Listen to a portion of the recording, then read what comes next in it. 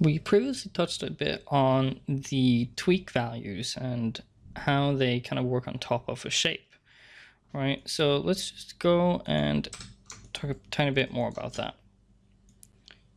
So here I've just got my cube, right? And if I select a vertex, you can see that it will give me the index of the vertex and it will just say 0, 0, 0. That is because as soon as I move it, it will add in basically like a tweak value that is the offset from the org shape, right? Or the, the actual shape data that is in the this shape, not the org shape, sorry. So anytime that you zero those out, it will just go back to the default pose. Now, what's kind of cool about this is that these are actually um, they're actually plugs that you can connect directly into on the node. That basically means that if I take a locator, I can say, I can take the translate and I can plug it directly into the point. Uh, normally, if you if you try this, uh, the points won't always show up. But if you go and you try and go into control points, it will just kind of flick it over to the, the correct position in the points. So if I now move this, you can see that we're actually directly moving the position of that vertex. Now note that, as I said, it's an it is the tweak position of this, so it, it will do it with an offset. Now, if you wanted to actually do this so that it matched up perfectly with where your locator was. In, in world space, for instance, like, yes, you could offset your locator, but one way to do this as well is just to kind of uh, take, add a cluster and just scale it down and basically just collapse the mesh because then you will basically offset from zero. So you're going to have like a perfect one-to-one -one representation there so if we do the same thing, I'll just add in our cube again. Right, we can take our locator, we can take the translate, add that into just a point zero. So when we now move this away, we're not going to see anything because all the points are down here. So I'll just move this up a bit. Right, so you, but you can see now that all of these other points that we hadn't really done anything with, they're just at they were just at the origin, while when we move this around, you can see it's exactly where the locator is.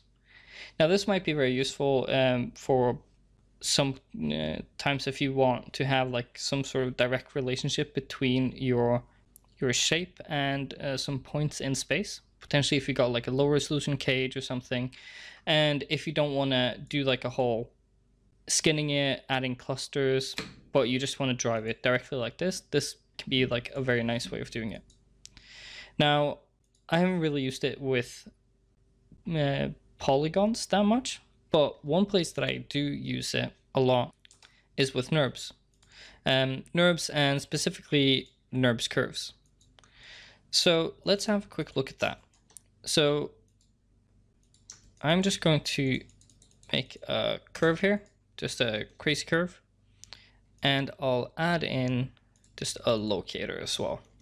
So just get rid of that and I'll just make a locator here, locator. And I'll just get rid of this, I don't need that. And again, I'll just take the translate, put that into the curve shape. I'll just put it into control points, control point zero. And this the kind of cool thing about uh, using the NURBS and the NURBS curves is that as soon as you add something into the control points, it snaps exactly to where it needs to be in world. So that we can do this and it's just going to follow it like perfectly. And if I add in, you know, more, uh, I can add in just one for, let's just put it onto the, the last point. So you can see now we have the last point here as well. So you can see what it's actually doing is it's just moving these vertices completely um, around in space. So it's just these guys. And you can see now, if I try to modify these, it says uh, curve shape one control point is locked or connected and cannot be modified.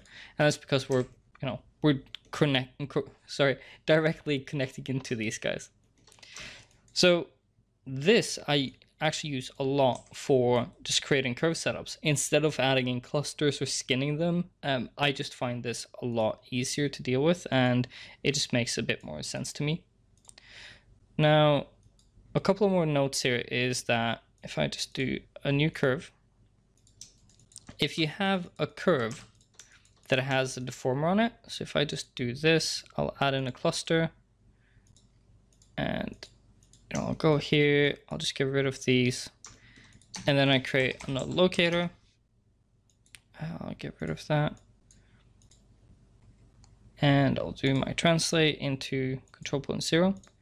Note that it didn't snap now because now as soon as you do um an, as soon as you have like a deformer on it or a, and a tweak node that's where it's going to go you can see that there's actually no connection between these now and if i just graph this backwards um, you can actually see now the locator one is actually going into the tweak node so it's actually going into the control points of the tweak node and that kind of new geometry that it's doing there, that's passing on into here. So if, if I just graph this, you can see that it basically starts with the org shape of that curve.